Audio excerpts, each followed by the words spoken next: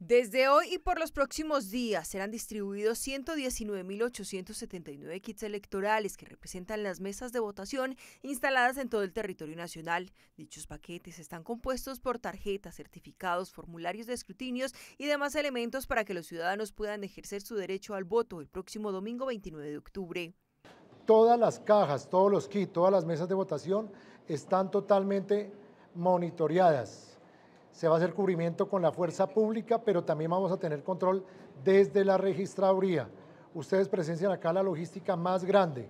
No es solo los kits, también está el tema del preconteo, los simulacros que hubo cada kit será entregado a los 831.973 jurados de votación que fueron designados para los comicios. El traslado será tanto de manera terrestre como fluvial y aérea. En territorios donde el acceso es complejo, el material llegará a lomo de mula, para lo cual están dispuestos más de 900 muleros en diferentes regiones del país.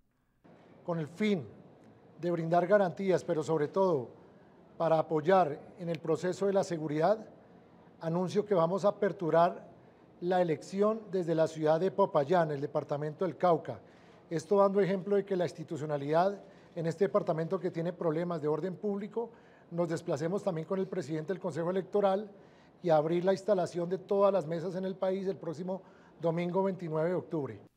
Para la jornada electoral del 29 de octubre en Colombia hay habilitados para votar 38.965.515 ciudadanos, de ellos 4.301 son extranjeros residentes en el país.